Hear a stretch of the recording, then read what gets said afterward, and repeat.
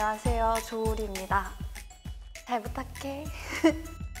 쩝쩝 박사. 누워서 넷플릭스 보기. 식물 키우기. 친구랑 밥 먹으러 가기.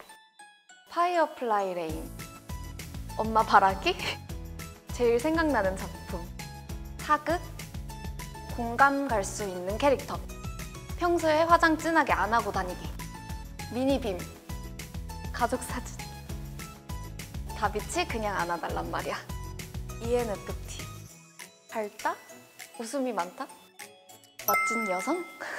감사합니다. 봐주셔서. 다들 너무 고생이 많으시네요. 배우 조울이었습니다.